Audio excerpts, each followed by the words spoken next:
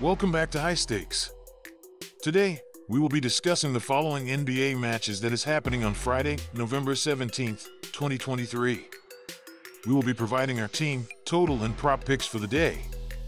Before we get started, please remember to subscribe to our channel and turn on notifications so you don't miss any of our videos. If you want access to our premium picks, you can check out our Patreon page. You can find the link to our Patreon page in the description and comment section below. In the upcoming game between Detroit Pistons versus Cleveland Cavaliers.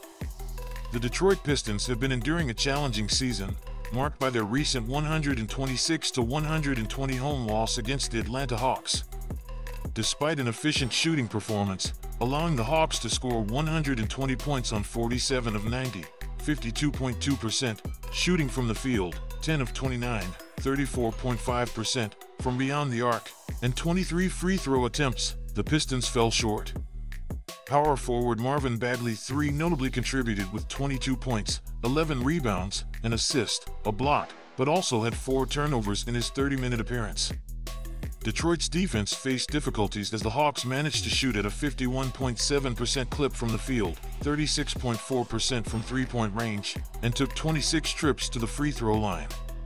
Turnovers plagued the Pistons, committing 17, making it challenging to secure victories.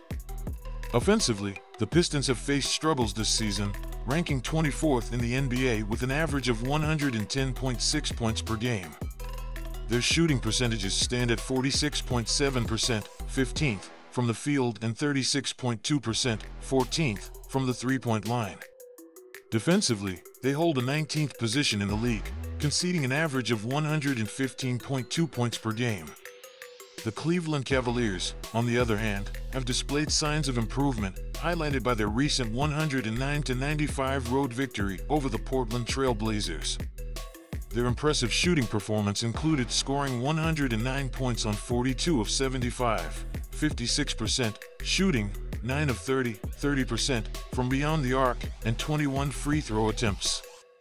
Shooting guard Donovan Mitchell delivered an outstanding performance with 34 points, 6 rebounds, 4 assists, a steal, but recorded 3 turnovers in his 36 minutes on the court. Their defense limited the Trailblazers to 37.4% shooting from the field, 34.2% from three-point range, and allowed only 16 free throw attempts. The Cavaliers' offensive struggles this season positioned them at 23rd in the association, averaging 110.5 points per game. They exhibit average shooting statistics, ranking 18th in shooting percentage, 46.5, and 26th in three-point percentage, 33.6. Defensively, they've performed reasonably well, ranking 13th in points allowed, 112.2, and rebounds per game, 44.6. However, managing their lineup amid multiple injuries remains a challenge for Cleveland to maintain competitiveness. Considering the uncertainties around Donovan Mitchell's and Darius Garland's injury statuses, the betting line is likely to shift, possibly moving closer to 10 points once Mitchell's availability is confirmed. The Cavaliers, despite their recent struggles, displayed promising signs in their last outing. With Detroit lacking scoring options beyond Cade Cunningham, the Cavs' defensive potential could limit the Pistons' offensive output. Given Cleveland's superior performance and potential lineup advantages, choosing the Cavaliers to cover the 8-point spread seems favorable. Both teams have struggled defensively, allowing high scores in recent games, making the total points line of 220.5 appear conservative.